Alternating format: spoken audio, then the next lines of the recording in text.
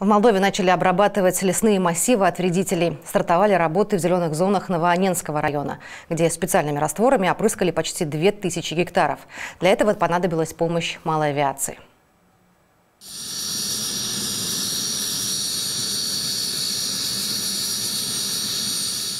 Спецраствор использовался для борьбы с вредителями. Как правило, против гусениц, облюбовавших многовековые дубы. В этом районе почти все виды дуба серьезно пострадали. Значит, здесь есть гусеницы непарного шелкопряда. Вот они.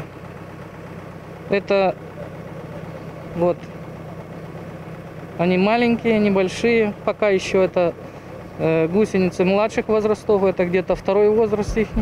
Леса против этого волосатого вредителя обрабатывают один раз в 7-8 лет. Незащищенные деревья могут засохнуть. Последний раз зеленые насаждения в этом районе обрабатывались в 2012 году. Вредитель очень опасный, так как э, повреждает, может повреждать до 52 видов растений. Э, основная, основная порода, которую он повреждает, это э, его любимое, излюбленное место, порода, которой он питается, это дуб. Плотность его очень высокая, что представляет большую опасность для насаждений. Это может привести в дальнейшем к им, их, их усыханию и гибели. Для человека используемые химикаты не вредны.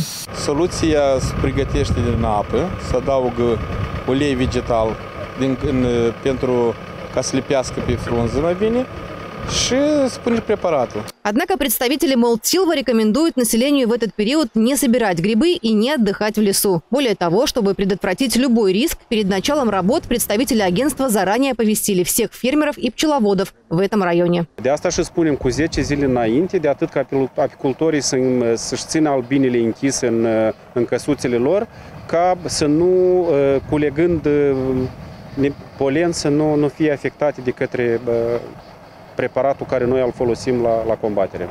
Общая стоимость работ составляет почти полмиллиона леев. Vorbim de costul lucrărilor în jur de 490.000 de, de lei care întrunesc toate cheltuielile directe, indirecte, inclusiv preparatul, zborurile avia și toate celelalte aspecte care sunt cheltuieli care sunt legate de asta.